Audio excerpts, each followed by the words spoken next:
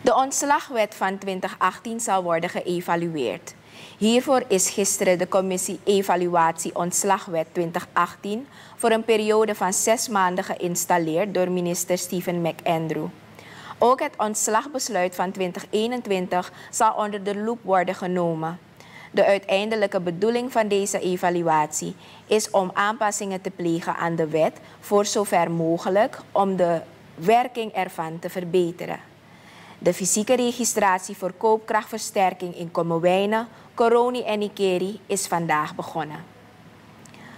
Op 22 en 23 maart zijn ruim 1000 personeelsleden van verschillende wijkkantoren uit deze districten getraind in het registratieproces.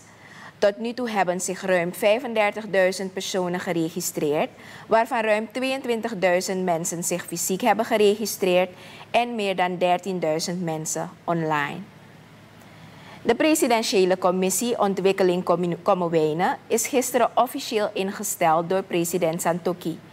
Said Lal Mohamed, die benoemd is tot voorzitter van de commissie, zegt dat de instelling nodig is om projecten die niet lopen weer nieuw leven in te blazen.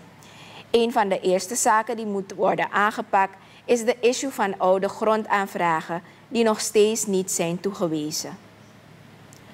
Lal Mohamed zegt dat er ook toeristische projecten zijn waarbij de duurzame aanpak van de wegen en veerverbinding nodig is.